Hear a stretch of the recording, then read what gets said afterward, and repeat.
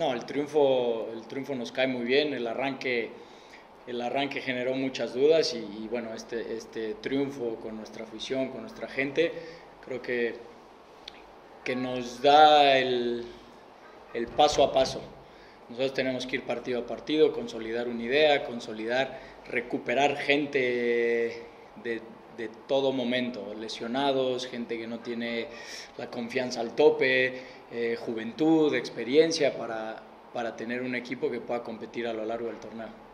Y mencionabas, ¿qué otra pregunta, perdón? Personalmente, ¿cómo te sientes? Bien, bien, bien, bien. Muy bien, muy, muy enfocado, muy eh, preocupado y ocupado en algunas cosas que tenemos que mejorar como equipo para, para seguir a lo largo del torneo, como te dije. Sí, a ver, Facundo, eh, el mismo Arce, eh, gente que teníamos lesionada, es un todo. Sin duda la presencia de Facu nos da un, peso porque es nuestro refuerzo, ¿no? Eh, estamos muy contentos con, con su accionar y trabajar, trabajar para seguir generando.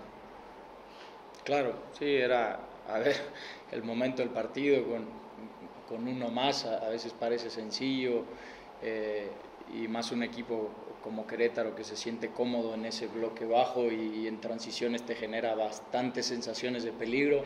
sabíamos que no era un partido fácil, pero como dices, el resultado a nosotros nos genera un parteaguas, como dije, para, para enfrentar a lo que viene, no solo América, sino lo que viene. Pero era clave ganar estos tres puntos. Mm, no, no, no me voy a meter a ver qué dijo Berg, a ver qué... No, a veces... A veces... Eh, ante un equipo de 10, como fue el primer tiempo, de total control, donde eh, tienes la pelota por muchos momentos y ellos en ese bloque, hay que dejarlos venir, hay que sacarlos un poco de su zona para nosotros tener espacio para jugar, si no es muy difícil generarles eh, a, 10 jugadores atrás de medio campo, entonces... Eh, no, no te voy a decir si estoy de acuerdo con él o no, nosotros tenemos los tres puntos y es lo que, lo que importa ahorita. No, bueno, lo de, lo de Kevin sigue en, evaluación. Tenemos todavía que, que tener dos o tres eh, cositas por resolver y, ahí se tomará una decisión.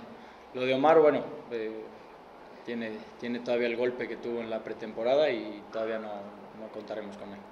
Sí, sin duda. Mira, yo creo que, que, tengo muchos activos, tengo muchas herramientas en el plantel y bueno, el partido de Pachuca también nos generó sensaciones y nos hizo tomar decisiones de cómo darle más herramientas al grupo para estar mejor posicionado y tener un poquito más de control del juego. Eh, sin duda hoy la expulsión te facilita un poco en el trámite del juego, pero también te condiciona a ir a buscar el partido y de dejar tu espacio si tú ser tú el que propone. hoy, hoy una evaluación como tal del plantel eh, me quedo contento porque ya nos había pasado de que teníamos uno más y muchas veces no encontrábamos el, el, cómo y hoy el equipo lo encontró, porque es, de verdad te digo, es difícil. No sé si vieron Chivas San Luis, que es, es complicado. Entonces, eh, como dices, la evaluación de Pachuca también nos hace generar brindarle más herramientas al jugador, que se sienta más cobijado y de ahí partir para, para ir en busca del torneo.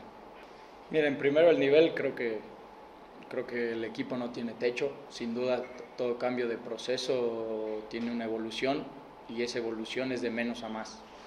Hay que tomar, tomar muchas cosas que se hacían bien, seguirlas consolidando y lo que queremos implantar como cuerpo técnico requiere un tiempo, pero sabemos que es progresivo, poquito a poco eh, vamos metiendo nuestras cosas y ahí, ahí vamos para que el jugador Sabemos que venimos de un proceso exitoso, no hay que cambiar mucho, tampoco hay que hacerse los, los innovadores, sino poco a poco y poco a poco se verá eh, la idea del, del, cuerpo técnico.